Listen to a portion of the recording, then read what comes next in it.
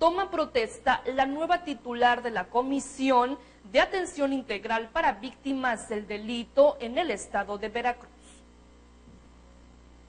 El secretario general de Gobierno, Gerardo Buganza Salmerón, tomó protesta a Mireya Toto Gutiérrez como directora general de la Comisión Estatal para la Atención Integral a Víctimas del Delito. El encargado de la política interna del Estado subrayó que es prioridad para el gobernador Javier Duarte proteger y apoyar a quienes ven vulnerada su esfera de derechos y libertades. El decreto que crea la comisión es claro en su objetivo inmediato. Vigilar un trato digno e integral a quienes sufran agresiones de la delincuencia y persigue un objetivo todavía más ambicioso, que es apuntalar la confianza en las instituciones encargadas de la Procuración de Justicia. Es parte de un esfuerzo permanente y transversal de este gobierno por responder a la demanda social de un Estado que busca su prosperidad con apego a la legalidad.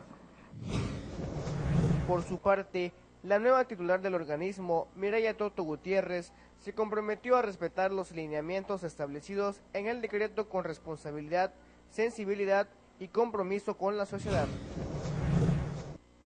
La puesta en marcha de esta comisión es una acción concreta del Ejecutivo Estatal que se traduce en una reingeniería del sistema de justicia a favor de las víctimas. Reingeniería que no se agota en el ámbito estrictamente legal, sino que implica también actuar con humanidad, solidaridad y sensibilidad respecto a la protección a la vida y al bienestar de las personas víctimas del delito.